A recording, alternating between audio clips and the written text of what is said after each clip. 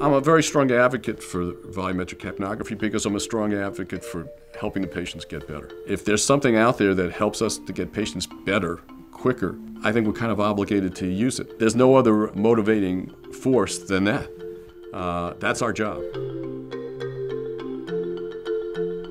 Reason we got into this and the, and the, way we got into this, we had one specific patient who we would wean down to almost off the ventilator. She was here for months. We were doing the same thing every single day with that patient, and then we we're getting the same result. She could not come off the vent. As you would point out, was the definition of insanity. I started looking at different ways to do things and whether there was something different we needed to do. I met a gentleman along the way who was selling ventilators. And while one day we were talking about ventilators, he was telling me about uh, volumetric capnography. Volumetric capnography measures the actual volume of exhaled carbon dioxide on every breath. It's like having a pulmonary function test on a screen where you're looking at the patient lungs. It's non-invasive. It's a sensor uh, that attached to the uh, ventilator tubing. And we asked one of the respiratory therapists from the company to come in and look at this patient. And uh, he went into the room, he hooked up the system, he assessed her, he came out of the room a half hour later and said, take her off the vent, she doesn't need it.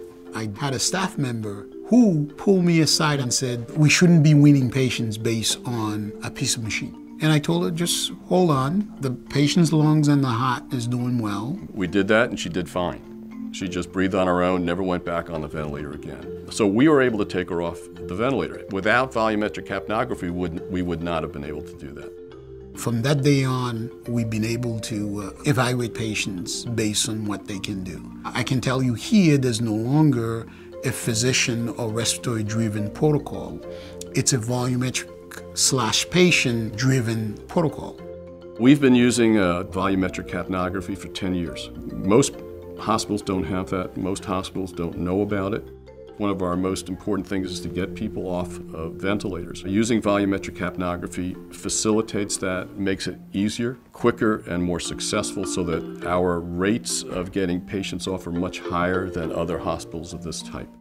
Since the inception of volumetric capnography here, little by little, the weaning percentage, meaning the number of patients that left the hospital without the ventilator, started uh, uh increasing. I will tell you that in LTACs in general, uh, around the country, the weaning rate is about 70%.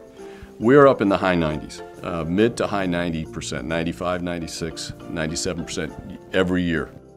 We also have tended to shorten the duration, the amount of time it takes from when we start till the patient is off the ventilator. When we first started with the technology, uh, it took us uh, an average of 20 to 22 days to wean patients off the uh, ventilator. Now we're about 10 to 12 days. It's really, uh, uh, it's big volume to volumetric capnography. I mean, if you take that 20 or 25% of patients that you wouldn't liberate from a ventilator without this, those patients end up staying in a hospital on life support for the rest of their lives.